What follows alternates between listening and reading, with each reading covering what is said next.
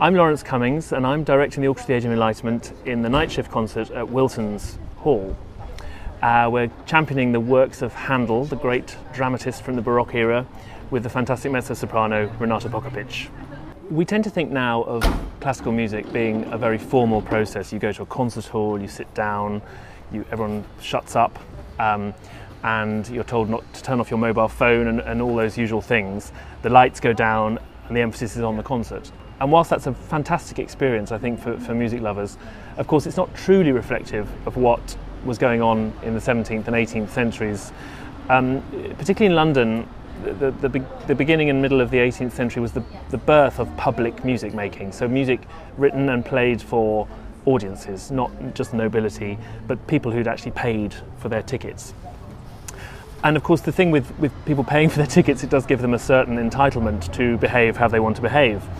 Um, so I think the, the, audience was often quite noisy um, until, of course, the big star turned up and then everyone shut up. Um, and also probably felt free to eat and drink, to um, just enjoy themselves with, with, a good night out. One of the things that annoys me at the moment um, in the perception of classical music is that classical music is somehow relaxing. Um, in fact, it should be all but. It should be totally stimulating. You should be exhilarated. You should be made to feel grief stricken all in the course of one evening. And I think we as musicians really want you to do that. We, we want you to experience the music as we do. And in fact, it's our job to make sure you do.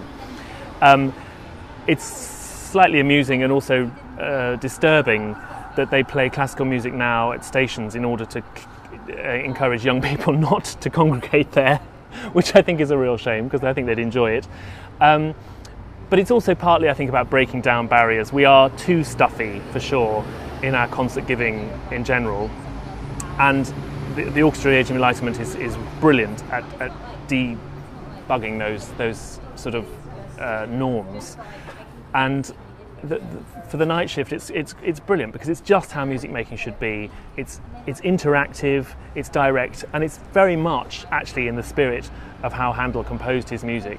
He wanted his audience to be there all the time, to be with him, to be following it, and to be moved by the music. It's rather wonderful because, because a lot of his music was played in pubs and taverns, and it's interesting to sort of um, imagine how that would have been and uh, I, I, rather love the idea of, of, being in an informal venue and hearing some of his music really come to life. And anyway, for, for us as musicians, it's great to make music a bit later on in the evening because we, we also feel a bit more relaxed later on. And knowing that the audience is excited to be there, coming for something a bit different, actually really innovates us, and, and that, that's very exciting.